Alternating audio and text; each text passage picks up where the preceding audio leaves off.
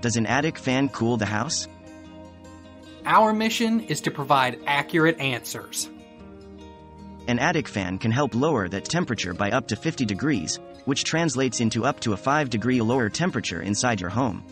Not only will it feel cooler inside, your AC will last longer as it will not need to cycle as much.